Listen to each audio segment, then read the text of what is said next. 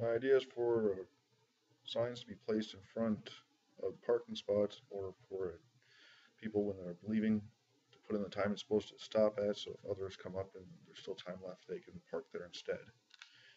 Uh, This would be used by anybody using the spots that have the meters on them.